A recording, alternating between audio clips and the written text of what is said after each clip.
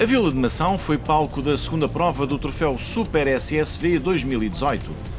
A organização, a cargo do MEC-TT, preparou um circuito rápido e exigente, mas as condições climatéricas que se fizeram sentir nos últimos dias elevaram bastante o grau de dificuldade, com a chuva a tornar o piso muito escorregadio e a criar diversas zonas com muita água.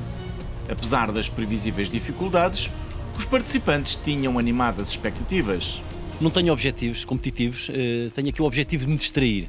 Distrair-me, estar entre amigos e chegar ao fim. Esperemos que sim. O piso está, como se vê, está muito escorregadio certamente, mas o objetivo é chegar ao fim e distrair-me. Depois das habituais verificações, a prova começou com uma sessão de 30 minutos para a obtenção de tempos que serviriam para alinhar os pilotos na grelha de partida. Seguiram-se duas longas horas de resistência nos 12 km de traçado, feito nas proximidades de Mação e marcado, como dissemos, por muita lama e água que existia na pista. Três pilotos mantiveram um animado confronto, tendo cumprido 11 voltas à pista.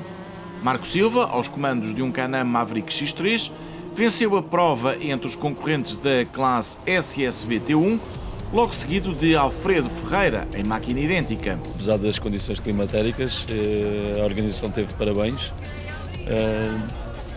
Eh, foi uma prova boa, foi uma prova boa. Correu bem, eh, sem nenhum azar, do início ao fim a controlar o andamento dos concorrentes. Deu para ganhar. Álvaro Oliveira, aos comandos de um Yamaha YXZ1000R, venceu entre os concorrentes com máquinas sem motor turbo da classe SSV T2. Primeiro de T2 e terceiro à geral. Acho que correu bem, correu bem. Tirando um percalço da, da parte da manhã, da vista, que tive que ir para o centro de saúde, mas, mas correu bem. Na corrida, que teve a X-Adventure como entidade promotora e que contou com o apoio do município de Mação, participaram concorrentes inscritos na classe Hobby. Adérito Gato foi o melhor entre os T1 e Tiago Andrade entre os T2.